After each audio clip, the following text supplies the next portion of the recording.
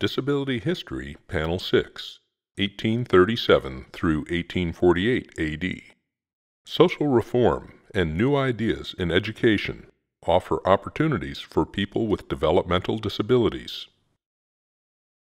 Social Viewpoint In 1842, Johann Jacob Guggenbühl, a young doctor, was stirred by the sight of a dwarfed, crippled cretin of stupid appearance mumbling the Lord's Prayer at a wayside cross.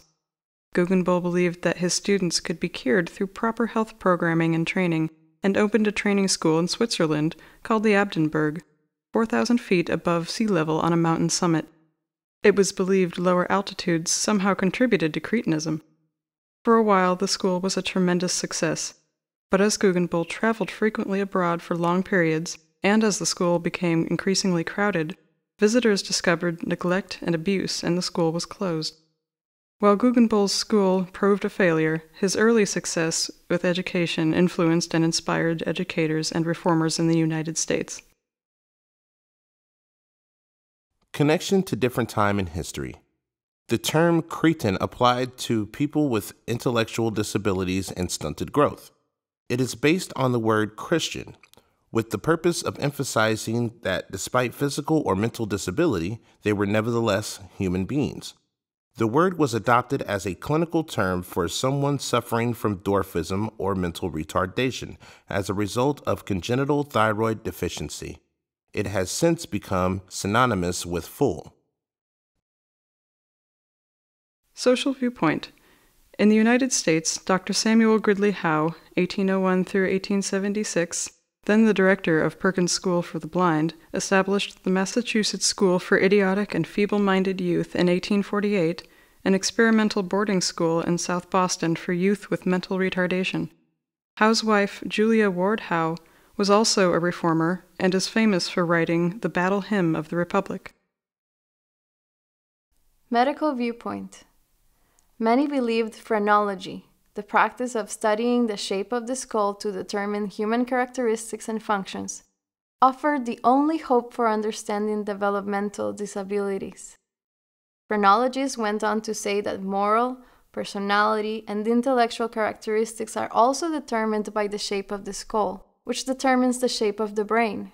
Once a highly respected science, phrenology was discredited as scientists found no relationship between the size and shape of the cranium and the degree of intelligence. Moral viewpoint Persons who lived in extreme poverty, including many with physical or mental disabilities, were often put into poorhouses or almshouses. Such establishments, supported by public funds, began in the Middle Ages as a means of removing economic outcasts from society. Connection to different time in history. Wealthier parents tended to keep their children with developmental disabilities at home. In the more rural areas, persons with developmental disabilities were often a normal part of the community. Social Viewpoint At the age of 19 months, Helen Keller lost her sight and hearing through an illness. With the help of teacher Anne Sullivan, she learned to speak, read, and write, and graduated from Radcliffe College in 1904. She lectured across the globe and raised money for education of many people with disabilities.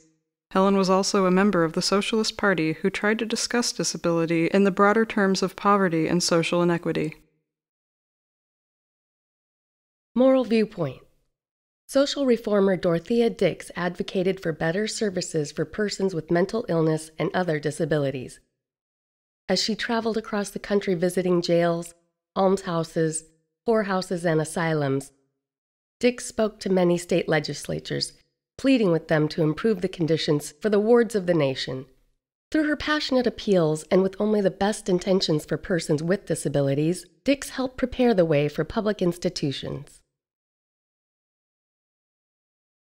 Stereotype Persons with disabilities as objects of pity, seen as suffering from some condition beyond their control, and therefore not considered accountable for their behavior. Viewed with a there but for the grace of God go I attitude. Paternalism and low growth expectations are typical consequences of this viewpoint. Some poorhouses were still in use until World War II. Moral viewpoint Training schools were considered an educational success, offering hope to many families of children with developmental disabilities. Across the country, parents wrote to state officials and school superintendents seeking admission for their sons and daughters. Some parents sought an education for their child, others simply needed relief. Nowhere is wisdom more necessary than in the guidance of charitable impulses. Meaning well is only half our duty. Thinking right is the other and equally important half. Samuel Gridley Howe, 1868 at the dedication in Batavia, New York, of an institution to serve people with disabilities. Social viewpoint. Another young and influential doctor was Edward Seguin, 1812 to 1880, considered the first great teacher in the field of developmental disabilities. He believed that mental deficiency was caused by a weakness of the nervous system and could be cured through a process of motor and sensory training. By developing the muscles and senses, Seguin believed his pupils, regardless of level of mental retardation, would obtain more control over their central nervous system, thus allowing them to have more control over their wills. Many of Seguin's concepts are still used today, including positive reinforcement and modeling. There are two ways of spreading light to be the candle or the mirror that reflects it. Edith Wharton